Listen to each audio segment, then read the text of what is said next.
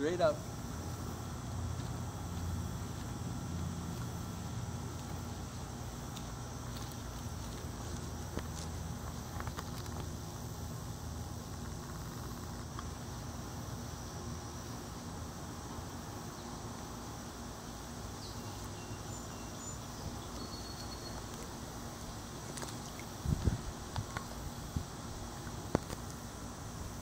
Okay, hold it straight up.